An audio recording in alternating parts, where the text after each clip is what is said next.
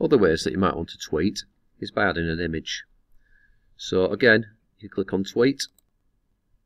Do the same process if you want. An image can be mixed with text and hashtags and ats. So let's go at teaching group. Also again, put hashtag teachers triathlon. This time, I want to put a message, a great motivational quote. And if you just click on inspirational quotes, so you find an image like this one, and you think that's great, I like that. If you right click, go save picture as.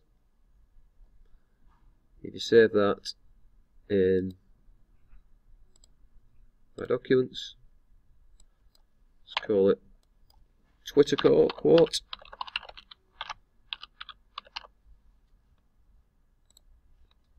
then go back to Twitter, click on media,